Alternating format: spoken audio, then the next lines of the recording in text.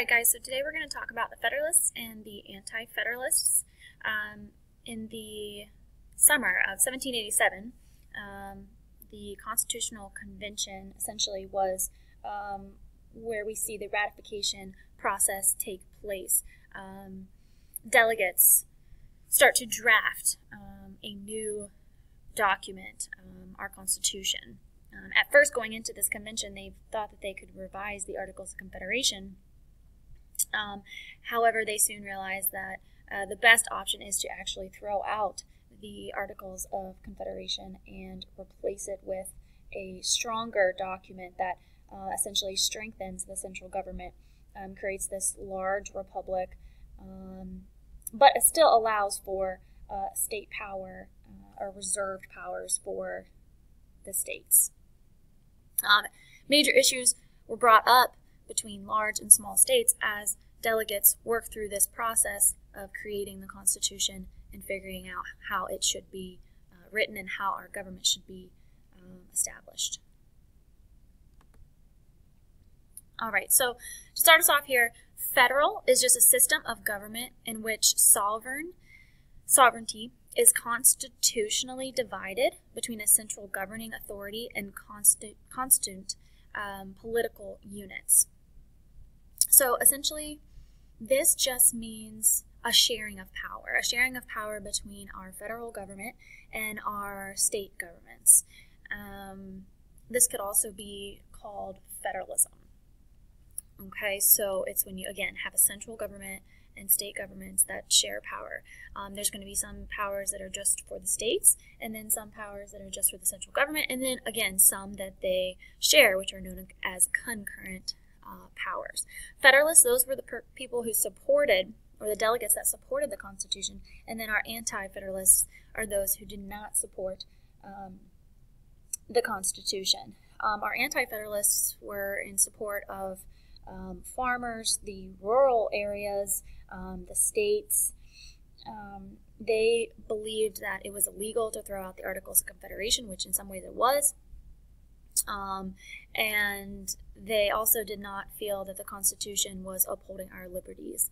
And these were some of the reasons why they were against um, the, the Constitution. Now, the Federalists, on the other hand, again, were in support of the Constitution.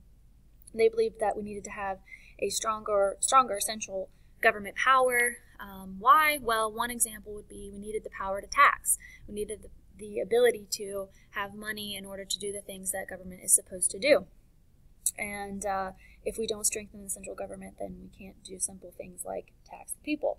Um, so they are going to write a series of papers called the Federalist Papers, where they'll try to convince people to support uh, the Constitution, and they'll be successful in doing so. Um, and then they wanted to point out that, you know, the states aren't completely losing power. Um, with the Ninth and Tenth Amendment, um, there would be some state power, and so Federalists believe this is the perfect balance. This is this is the best balance between central power and state power. Um, this this is the right solution. Um, they were in support uh, also as um, sorry in support of the manufacturers and the big business leaders um, rather than the farmers with the Anti Federalists.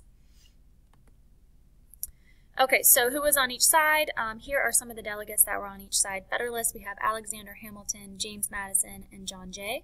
And then the Anti Federalists, we have Patrick Henry, Samuel Adams, and Richard Henry Lee. And James Madison is going to write several um, of the Federalist papers, um, specifically 10 and uh, 51. Okay, so again, the Federalists were wealthy, very well educated. Um, they had a desire for a powerful centralized government. Leaders in this on this side were George Washington and Benjamin Franklin. Um, they believed orderly, efficient government could protect their economic status and controlled elections of ratifying conventions with their power and influence. Um, and so I want to point out just briefly that before um, we see these two groups form, so the Federalists, the Anti Federalists, and even during their formation, there really was no political party, essentially. No Republican Party or Democratic Party had not formed yet. And so this is kind of the first divide that we see as far as political parties, um, Federalists and Anti Federalists. And over time, what we see happen is these two uh, groups or separation in ideas kind of eventually form into our Republican and Democratic Party, and then other parties as well. All right, Anti Federalists, again, we're farmers, um, middle class people, loyal to their state governments. Leaders included Samuel Adams, Patrick Henry. They wanted the Bill of Rights um, added to the Constitution. That was one of their big things, is they felt like the Constitution was not upholding our liberties, and so a Bill of Rights needed to be added in order to ensure that our liberties were upheld. Um, they feared the powerful central government, especially because of what we had witnessed with Great Britain uh, or been a part of with Great Britain, uh, especially powers of tax- taxation, and re- re- believed, sorry, a Republican government could not rule a nation as large as uh, America. Okay, so why were the Federalists so successful? Uh, because they are successful and they will get 9 out of 13 states uh, to ratify the Constitution. Hamilton and Madison and Jay worked together. Um, Anti Federalists did not seem to do that. Uh, Federalists also had money and influence. Um, again, they were in support of, and even some of them were, uh, big business leaders, manufacturers, um, city people. Um, so they make a lot of money, and this makes people agree. Uh, celebrity leadership Washington won the Revolutionary War, will be president, and Franklin was the celebrity of his day because he was the Renaissance man.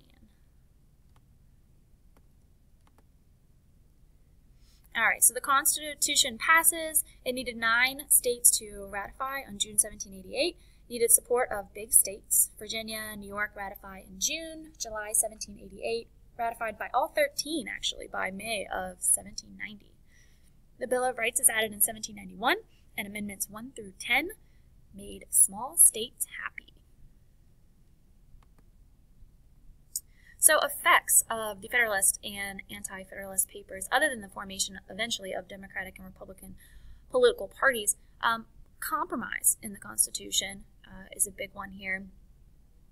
Um, eventually, you know, obviously, the, the Federalist wanted a strong centralized government and some state power. The Anti Federalist wanted more state power, less um, central government power and they also wanted our liberties upheld. So the, the best way to compromise was to um, ratify the Constitution, but also add the Bill of Rights to ensure that our liberties are being protected. And and so those amendments nine and ten especially gave power to the states that uh, the Anti-Federalists were really looking for.